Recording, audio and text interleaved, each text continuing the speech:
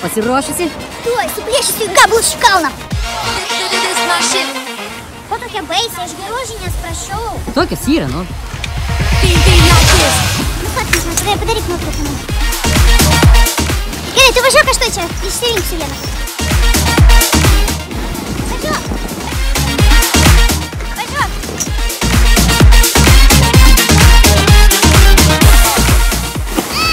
Kas tau yra?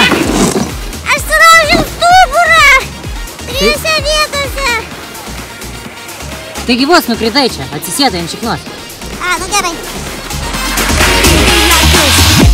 Kiek dabar su keltuvu reikės to pakilti? Čia lengva, jis tavęs traukia ir viskas. This, this, this, this, this, this. Like this, like this, like this, like this, like this, like this, like this. Nu kaip? This my shit. Oh, Kelkis, važiuojam. Aš noriu namo. O galima pavalgyti? Ne. Noriu